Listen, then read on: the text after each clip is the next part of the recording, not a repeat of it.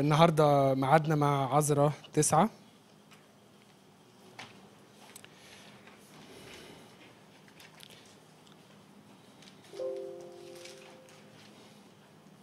تعالوا نقرا نقرأ جزء من ال- الإصحاح ده.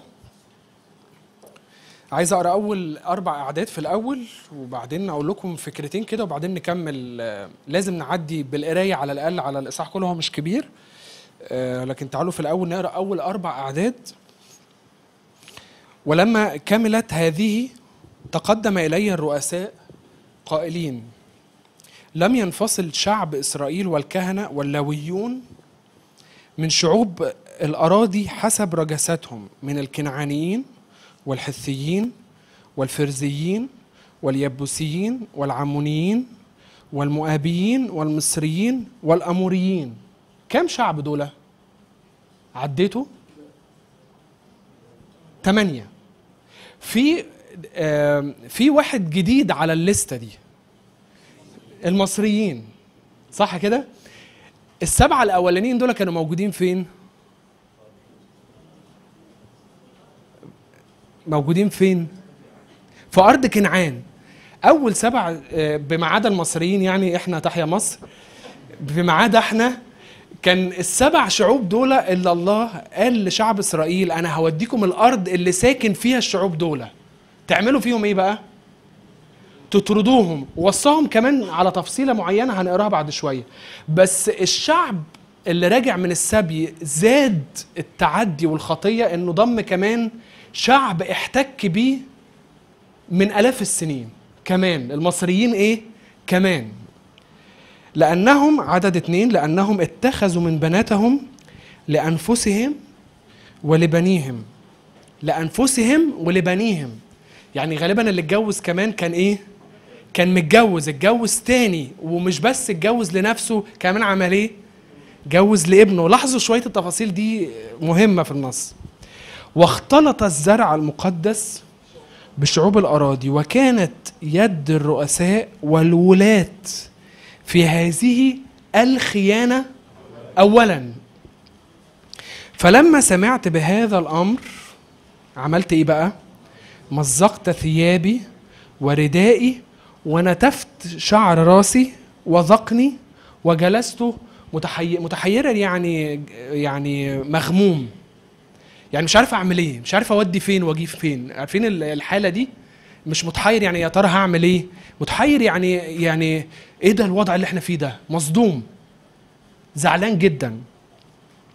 عدد أربعة فاجتمع إلي كل من ارتعد من كلام إله إسرائيل من أجل خيانة المسبيين وأنا جلست متحيرا إلى إيه؟ تقدمة المساء. مصيبة في حياة الشعب. إحنا عارفين أنا براجع معاكم شوية أفكار كده إن عذرا مسؤوليته الأولانية اللي جاي بيها من أرض السبي لشعب إسرائيل إنه جاي يعمل إيه بالأولى؟ إنه يبني الحياة الروحية للشعب. عذرا كاتب صح؟ من اللاويين كاهن عذرا عذرا كاهن. فهو مش مهتم بال بالبنى الهيكل زي ما عمل زروبابل ويشوع. هو مهتم بالحالة الروحية بتاعت مين؟ بتاعت الشعب. وعايزكم تلاحظوا ملاحظة في الآيات الأولانية. عذرا خد باله من الخطية دي ولا لأ؟ خد باله؟ ركزوا كويس. هاتلنا الع- عدد واحد واثنين اتنين. تلاتة. ها؟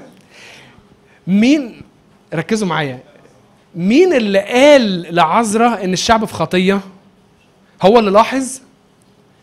هو اللي لاحظ؟ لا مش هو اللي لاحظ.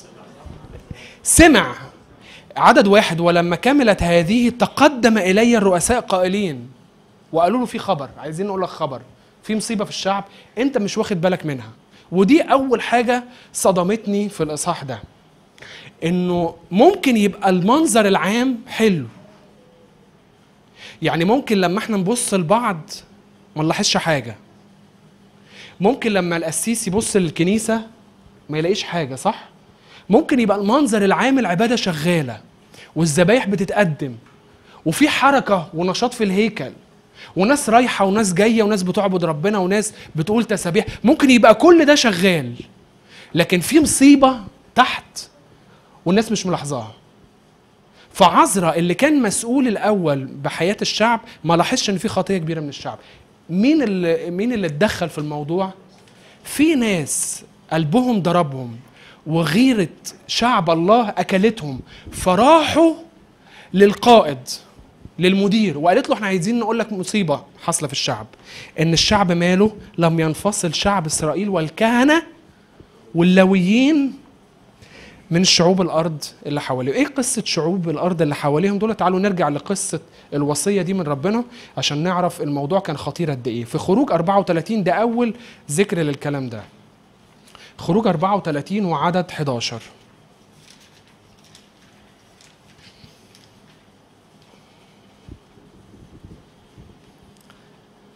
من أول خروج 20 اللي كان فيه الوصايا العشر اللوحين بتوع الوصايا العشر والاصحاحات اللي بعديها دي تفاصيل العهد مع شعب إسرائيل. الله قطع العهد مع شعب إسرائيل. وفي عدد 11 من اصحاح 34 بيوصيهم كده يا ريت بعد إذن خروج 34 عدد 11 احفظ ما أنا موصيك اليوم.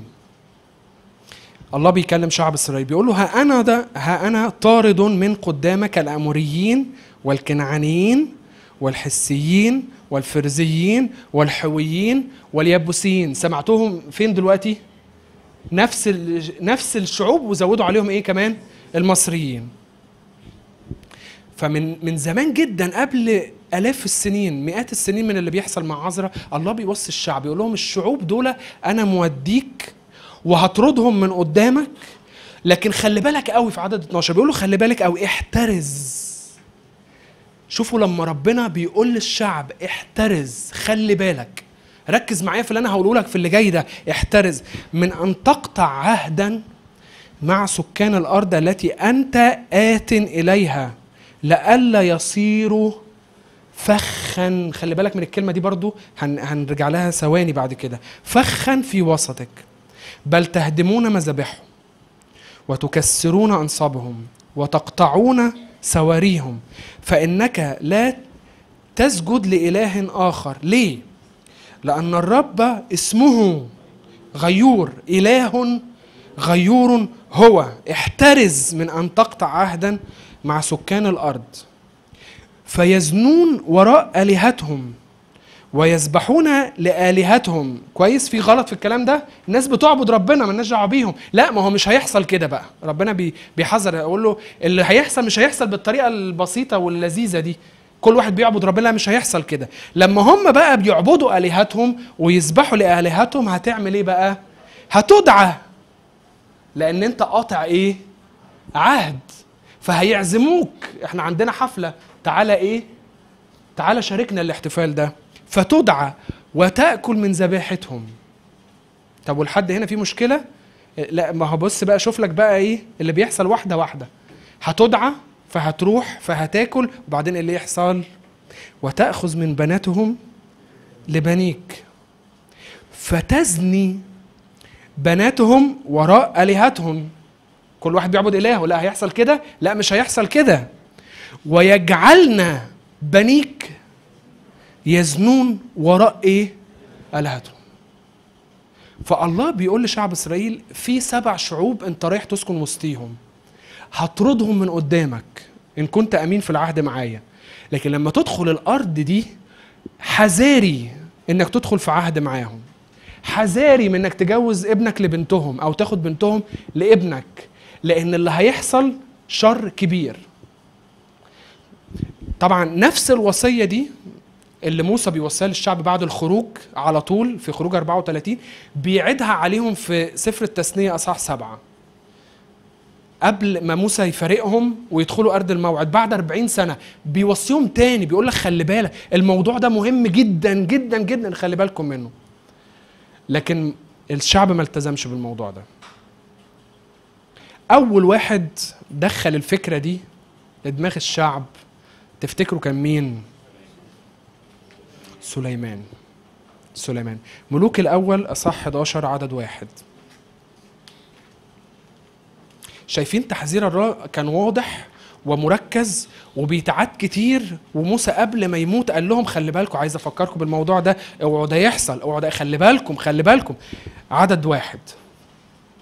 وأحب الملك سليمان نساء غريبة كثيرة مع بنت مين؟ زود على إيه؟ السبعة كمان الإيه؟ المصريين. بنت فرعون مؤبيات عمونيات أدوميات صيدونيات وحثيات من الأمم الذين قال عنهم الرب لبني إسرائيل لا تدخلون إليهم وهم لا يدخلون إليكم لأنهم يميلون قلوبكم وراء آلهتهم فالتصق سليمان بهؤلاء بالمحبة. عدد ثلاثة. وكانت له سبعمائة من النساء السيدات وثلاثمائة من السراري فأمالت نساء قلبه. وكان في زمن شيخوخة سليمان أن نساء أملن قلبه وراء آلهة أخرى ولم يكن قلبه كاملا مع الرب إلهه كقلب داود أبي. فذهب سليمان وراء عشتروس إلى الصيدونيين. اتعزم من مراته فعمل إيه؟ فراح أكل ولما أكل عمل إيه؟ عبد الإله ده إله الصيدوني وملكوم إله ركس العمونيين. ملكوم أو مولك ده كانت عبادته متضمنة اللي الناس بتحرق عيالها وتقدمه لل- للإله مولك ده. بتحرق عيالها وتقدمه للإله ده. ده نوع عبادة مين دخله لشعب إسرائيل؟ سليمان. مين سليمان؟ اللي بنى هيكل الرب. اللي دفع كل غالي وثمين عشان يبين عظمة الرب وبهائه وسلطانه وعظمته قدام عيون الشعب في الآخر حصل له إيه؟ بصوا عدد سبعة حينئذ بنى سليمان مرتفع لكموش رجس المؤابيين على الجبل الذي تجاه أورشليم شايفين. شايفين الغيظ بتاع الرب سليمان بنى هيكل الرب على الجبل هنا قدامه على طول راح عامل إيه راح بنى واحد تاني. ل... ل... لكموش. وهكذا فعل لجميع نسائه الغريبات اللواتي كن يقادن ويذبحن لآلهتهن. فغضب الرب على سليمان لأن قلبه مال عن الرب إله إسرائيل الذي لا تراءى له كام؟ مرتين. فالخطية خطيرة جدا وخبيثة جدا جدا. عشان كده الله حذر الشعب جامد منها. لما ال ال ال الرؤساء دول جم لعذرة ويحكوا له على الموضوع ده قالوا له مش بس المصيبة في كده المصيبة كمان إن مين اللي بدأ في الموضوع ده؟ مين اللي بدأ في الخيانة دي الأول؟ القادة والرؤساء اللي المفروض هم قدوة للشعب عشان خاطر يفكروهم ويحذروهم ويقولوا لهم بصوا ربنا شدد كتير على الوصية دي وإحنا شفنا بعينينا اللي ما التزمش بالموضوع ده حصل له إيه؟ فاكرين سليمان؟ فاكرين الملك الفلاني؟ فاكرين الملك الفلاني؟ فاكرين إحنا رحنا السبي ليه؟ فاكرين ليه؟ عشان خاطر إحنا ما التزمناش بوصايا الرب. فإيه اللي حصل لنا؟ فالله سبانا وتعاقبنا. فإحنا عايزين بقى نعمل إيه؟ نركز كويس في اللي جاي. ده دور المين اللي يقول كده للشعب. القادة. مين بقى اللي بدأ في الخيانة دي الأول؟ القادة نفسه. عشان كده المصيبة مصيبتين مصيبة مصيبتين. دي أول ملاحظة في الجزء ده إنه الخطية ما كانتش متلاحظة وده ممكن يحصل في أيامنا الخطية نبقى إحنا كلنا كويسين لكن في شر بيرعى وسطنا وإحنا مش ملاحظين. تاني خطية إن الخطية كانت خادعة جدا جدا جدا. إيه الفكرة في اللي أنا أرتبط بحد غير مؤمن؟ يعني ليه ربنا مشدد قوي على الموضوع ده؟ وهو الله بيوضح للناس بيقول لهم إنه إنه الفكرة دي لما تحصل هي في أولها حلوة يعني لما ترتبط بحد تاني من شعوب الأراضي الفكرة لذيذة وشيك.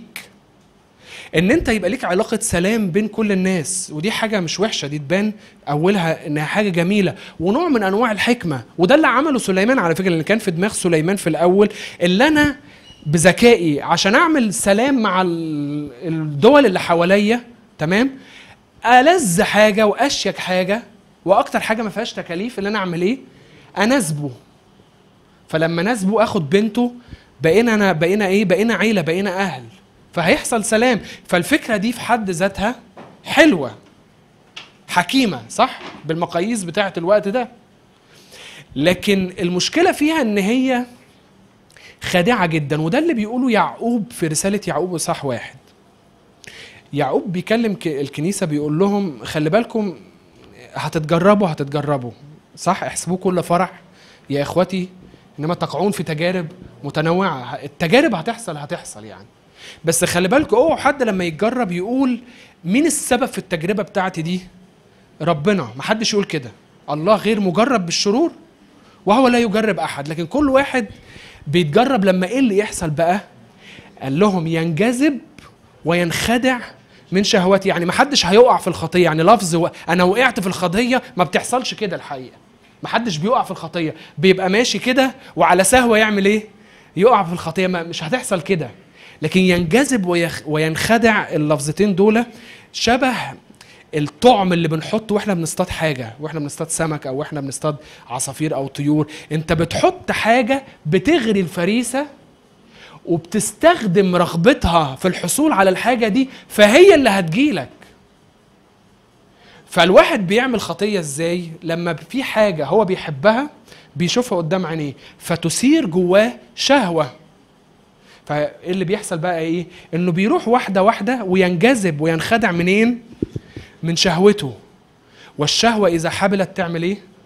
تالت خطية والخطية إذا كملت تنتج إيه؟ موت. فالموت اللي بتسببه الخطية بيحصل وقع كده صدفة لا ما بيحصلش كده بيحصل إيه؟ واحدة واحدة واحدة واحدة.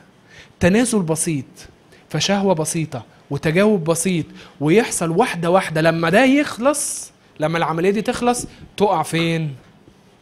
في الخطية. عشان كده الله قال لهم ما ترتبطوش من الأول. لأن لما أنت تنزل تحت نير مع حد مش مؤمن هتضطر تجامل. وأنت بتجامل في الأول مش هتحس إن في مشكلة. لكن رجلك هتيجي في الخية واحدة واحدة واحدة واحدة واحدة واحدة. قيس على كده كل الخطايا اللي إحنا بنقع فيها. عدد ثلاثة وأربعة. لما عزرا سمع الكلام ده قطع هدومه وقعد على الأرض ونتف شعر راسه ونتف شعر دقنه. عارفين مين اللي عمل كده بال- بالوصف ده بالظبط؟ قبل قبل ب- بسنين طويلة. في نفس المواصفات كده بتاع رد الفعل ده.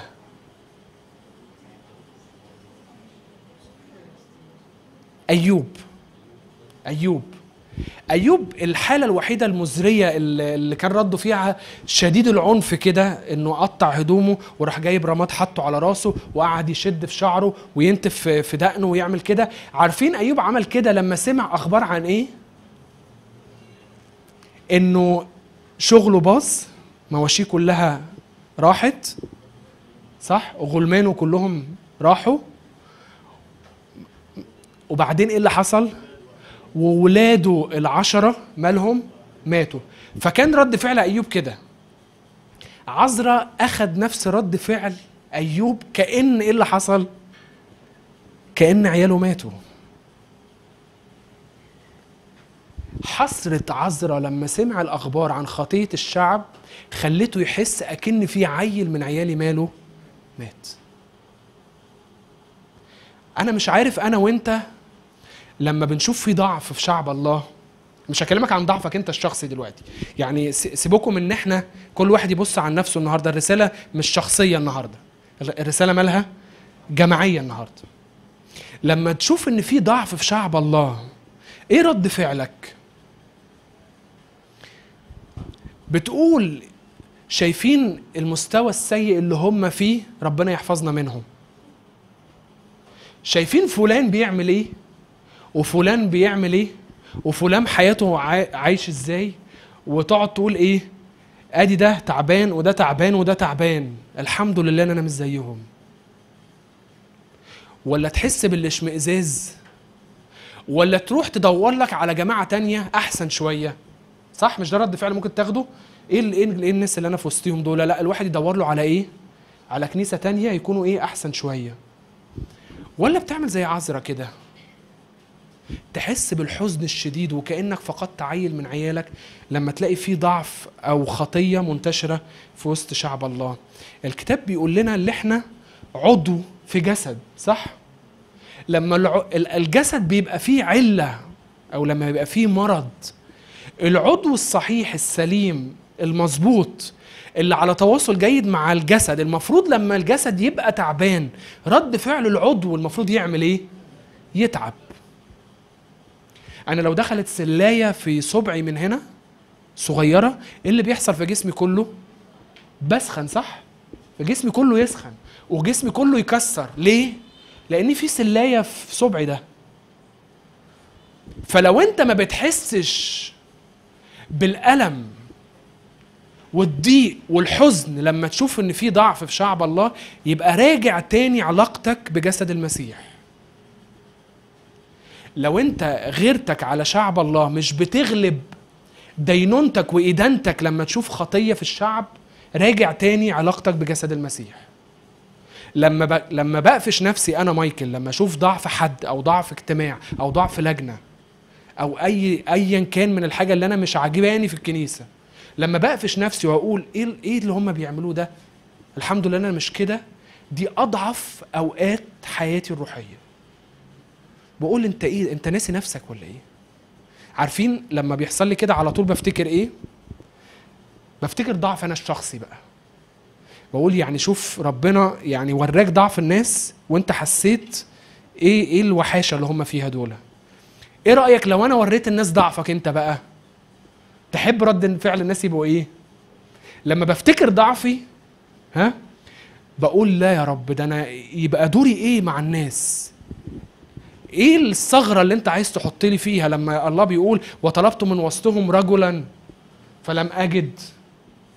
يا ترى ممكن أكون أنا اللي تحطني في الثغرة دي لما تبقى في فتحة في الجدار ده ثغرة هيدخل منها الشر للكنيسة؟ تحطنيش أنا فيها بدل ما أنا أقعد ألوم الناس وألوم ضعف وألوم خلي بالكم الكلام ده مع مين؟ مين اللي عمل كده في الأول؟ القادة الرؤساء اللي عملوا كده في الأول. لكن عذرا ناح وحزن. ممكن تراجع كمان نحامية يعني نحامية لما جاله الأخبار. فنحامية صح واحد. وجوله ناس من أورشليم. بعد ما ده حصل بعد ما ده حصل بعد كام سنة جم ناس من وسط الناس دي. ونحامية بيقول لهم يا أخبار الناس اللي عذرا عمل معاهم شوط جامد قوي في حياتهم الروحية. ها إيه الأخبار؟ ردوا عليه وقالوا له إيه؟ في شر عظيم. وعار. والوصف الأولاني كان إيه؟ شر. يعني ما قالولهوش في الأول إن ال- المدينة منهدمة وأسوار أورشليم مهدومة والأبواب محروقة. لا قالوا له إن الشعب أصلا فين؟ في شر عظيم. وعار. راح نحامي عمل إيه بقى. فصمت وصليت ونحت اياما وص... نفس رد الفعل. ده واحد قلبه على عمل ربنا. ده واحد مش قاعد على كرسي القضاء قدام الكنيسة. وكل ما يكون شوف ضعف في الكنيسة يقعد يشهر بضعفها. ويلوم قادتها. ويفضحهم على الفيسبوك. ويقولوا شوفوا الناس أدي قادة الكنائس اللي أنتوا اللي ممشياكم. شوفوا وحشين قد إيه. لا. اللي بيعمل كده ده منفصل عن الجسد. لكن اللي قلبه يتحط على عمل ربنا ويحس بالحزن مش بالدينونة بالحزن على وضع شعب الله ده عضو حي في جسد المسيح. الصلاة الصلاة اللي صلاها عذرا من عدد خمسة.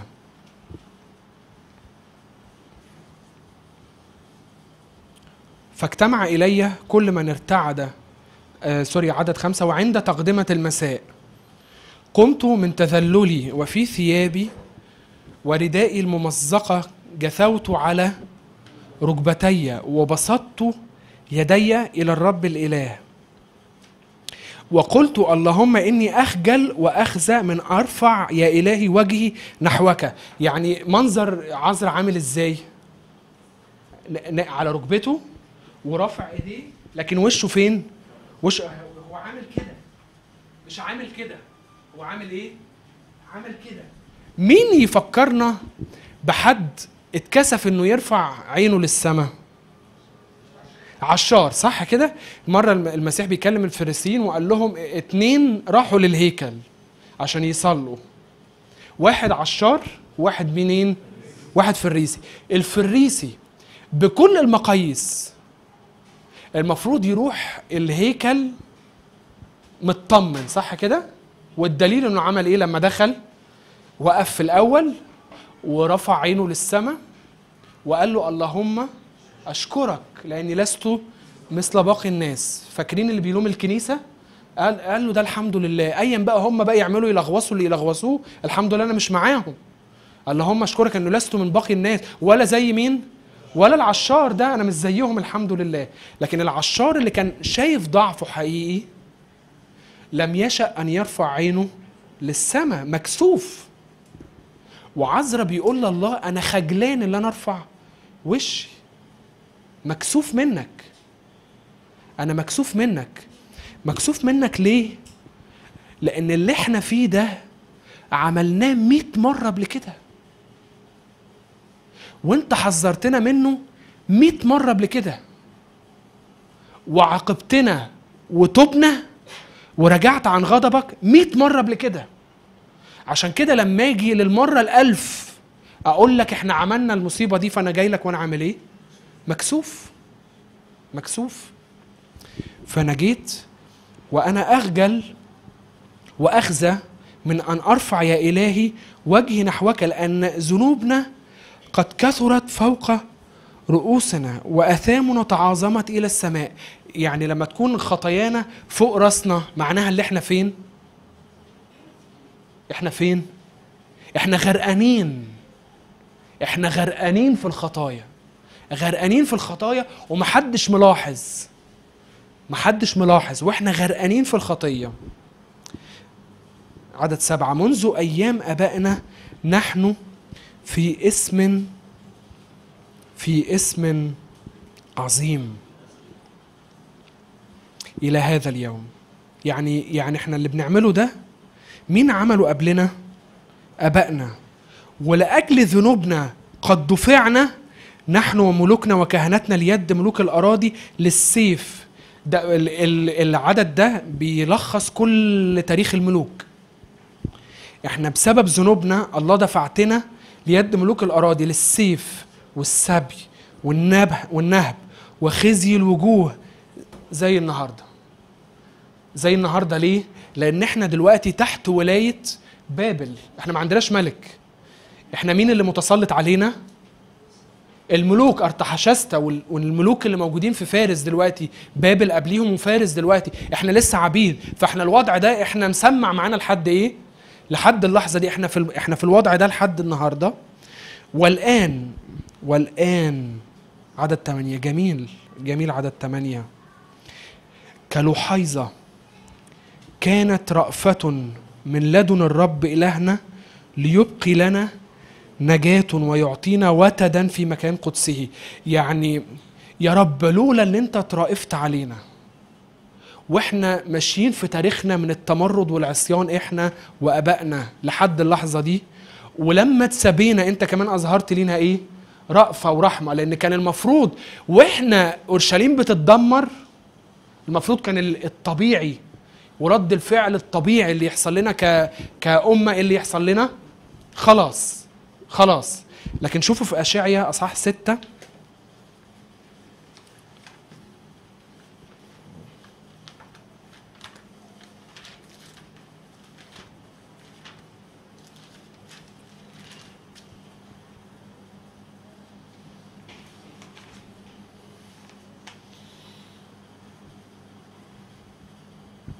عدد 13 أم ممكن عدد 12 ويبعد الرب الإنسان ده عن دينونة أورشليم. يبعد الرب الإنسان ويكثر الخراب في وسط الأرض. إمتى حصل كده؟ إمتى حصل كده بالحرف؟ لا لا لا في سنة وفاة عزية ده ده الرؤية. لكن ده حصل إمتى في التاريخ؟ في دمار أورشليم. لما نبوخذ نصر دمر أورشليم.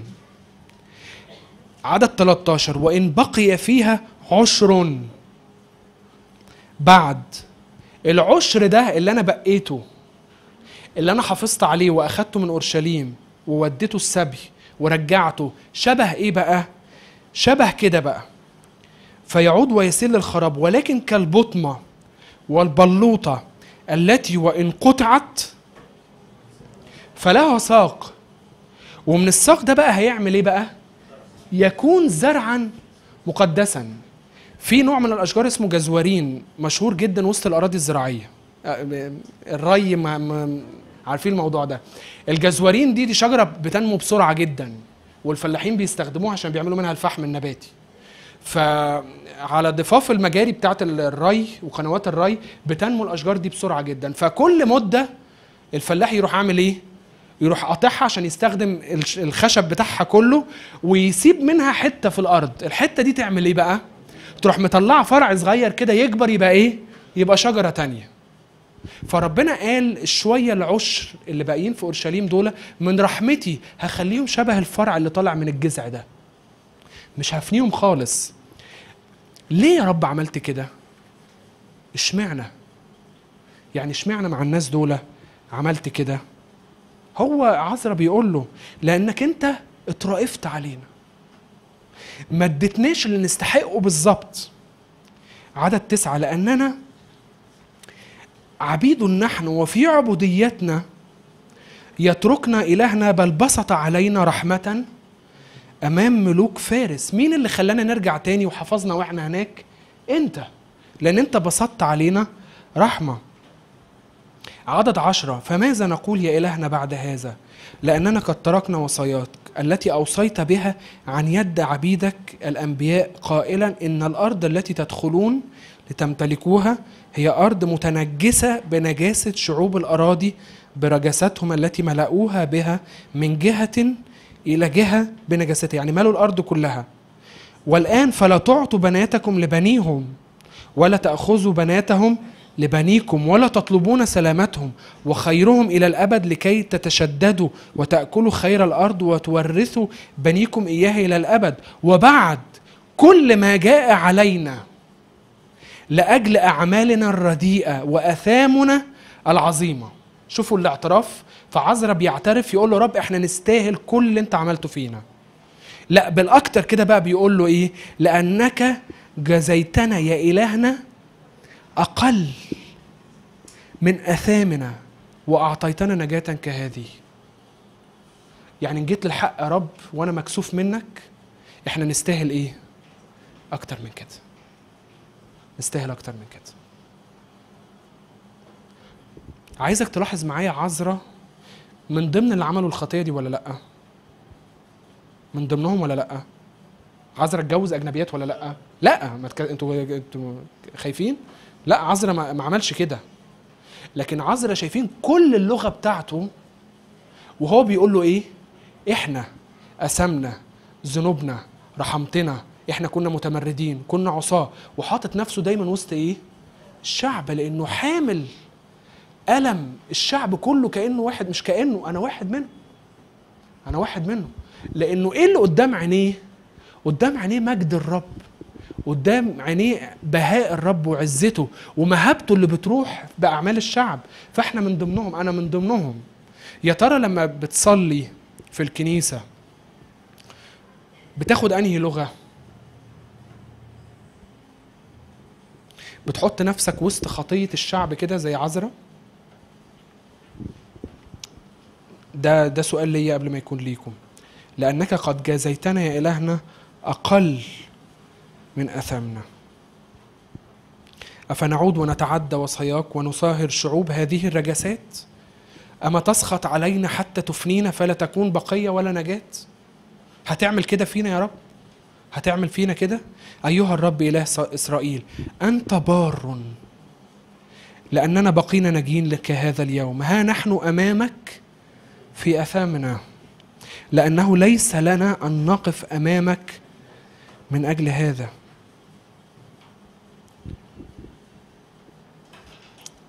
دانيال في إصحاح تسعة وعدد 18 و 19 قال له نفس الكلمات دي. قال له يا رب أنت إله بار وإحنا خطاط جدا. لو كنت ناوي لو كنت ناوي تغفر لنا هتهنى دانيال 9 عدد 18 و 19 لو كنت ناوي تغفر لنا وترحمنا على أساس واحد بس أمل أذنك يا إلهي واسمع.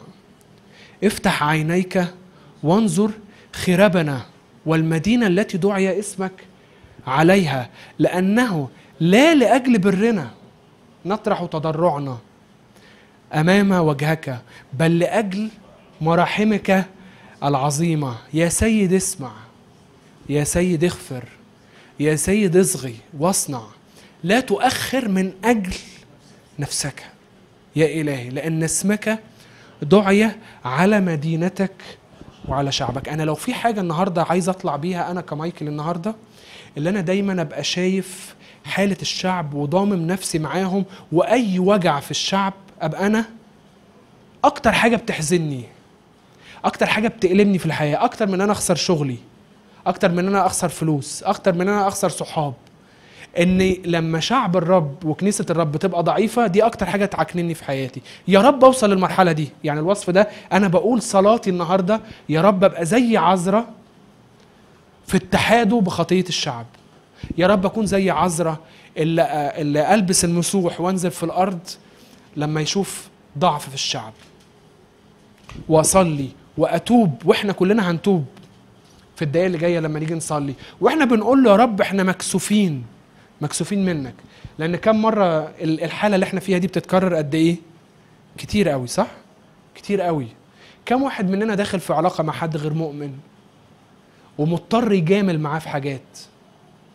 كم واحد دخل في الشغل معاه في في حتت بقى بيعمل حاجات وهو مضطر؟ أهو ده من ضمن الجواز بالأجنبيات على فكرة. كم واحد مصاحب حد وأقرب حد ليه في حياته اللي بياخد مشورته وبياخد رأيه في كل حاجة في حياته حد مش مؤمن. كم واحد بيرتبط بحد مش مؤمن. كم واحد في علاقة شبه علاقة العهد مع شعوب الأرض اللي حوالين المسيح قال اطلعوا من وسط العالم. اطلعوا من وسط العالم. ما تبقوش زي العالم. لا تشاكلوا هذا الدهر. لأن إله هذا الدهر قد أعمى عيون غير المؤمنين اطلعوا من وسطيهم. وأنا بصلي لأجل نفسي وأنا بصلي لأجل الشعب وأنا بقول له رب إحنا متكلين على رحمتك طول الوقت. لو لينا عين نيجي نتوب على أي خطية فينا فالثقة الوحيدة اللي عندنا هو لأجل إيه؟ رحمتك لأجل اسمك لأجل برك. تعالوا إحنا بنصلي دلوقتي نقول له يا رب شعبك كنيستك عروسك اللي انت فديتها بدمك غالية عليك وعلينا. يا رب انهد كنيستك وابدأ يا سيدي في أنا. احفظني من تكون عينيا شكاية ناقدة مدينة. لكن ساعدنا يا رب نكون نحط كتفنا في كتف بعض. لما نشوف ضعف في الشعب ننزل على ركابنا ساعدنا إن يكون مجدك وهبتك هي أكتر حاجة مهتمين بيها. أكتر حاجة تفرحنا أكتر حاجة تبكينا هو هبتك يا رب. زي ما يسوع المسيح قال غيرة بيتك أكلتني.